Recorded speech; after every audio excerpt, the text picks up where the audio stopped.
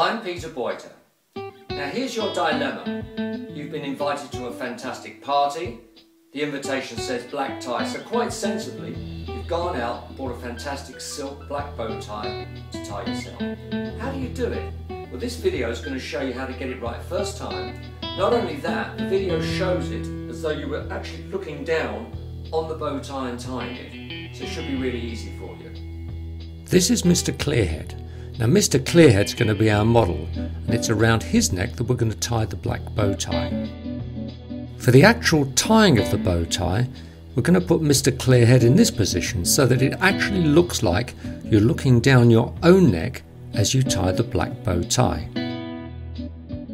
Just for this first part, I put Mr. Clearhead in an upright position so that you can actually see that the first thing you need to do is obviously button up your shirt, lift both of your collars up, and then hang the bow tie around your neck, ensuring that nothing is twisted. Okay, so now we're looking at how you will be looking at your bow tie when you tie it. So the very first thing is looking down on the bow tie, get the left hand side of the bow tie slightly longer than the right hand side by about one and a half inches. Now, a good guide is that the point of the right hand side of the bow tie is just where the left hand side of the bow tie narrows in the centre. The next stage is really simple. Put the left longer side over the right hand side as shown.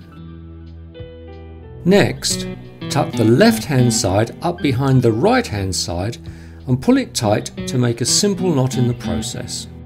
This shot shows the knot formed, but it's loose, so no problem, just tighten it up nice and tight around your neck. Next, put the long side up onto your right shoulder to keep it out of the way for now. Form the front of the bow tie by forming a loop on your right and the wingtip on your left. Where the shape narrows, this shape should be right in the middle of your collar and hold it with your left finger. With your right hand, bring the piece of the bow tie that's been sitting on your right shoulder down and run it down the centre of the bow tie. This is the bit that forms the centre fixing of the finished bow tie. With your left hand, hold and pinch hold two front parts of the bow tie you've created so far together. This creates a nice loop behind what you've already tied. With your right hand, take the last loose section and poke it partially through this loop from your right hand side, ensuring that the single right hand wing loop of the bow tie stays on your right side and is not passed through the loop. This creates the second loop on your left with a single wing on your right hand side. You're nearly there. To tighten the bow tie, just pull gently on the two looped sections only. A correctly formed bow tie will have a looped section on your front right, backed up by a single wing, and your left front will have a single wing at the front with a looped section behind it. Adjust the bow tie for neatness by pulling and smoothing here and there for the effect you desire. Be aware that a bow tie you've tied yourself should always look self-tied. Don't try and emulate an artificially created snap-on type. Then pull down your collar and be ready to face the crowd.